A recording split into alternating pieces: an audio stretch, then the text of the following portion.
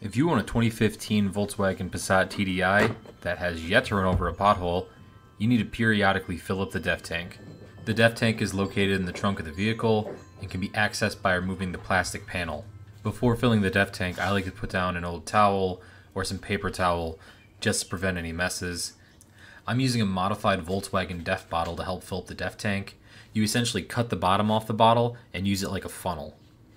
The Volkswagen DEF bottle contains a check valve on the bottom, and you can only dispense the fluid by depressing the bottle. This helps to prevent any messes.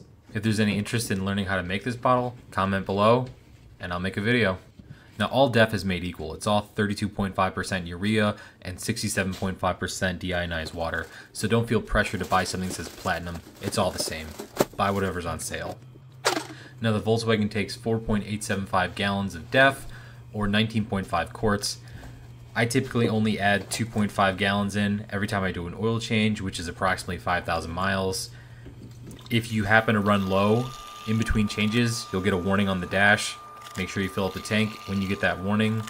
Failing to do so may lead to an inducement, which could lead to a no-start situation.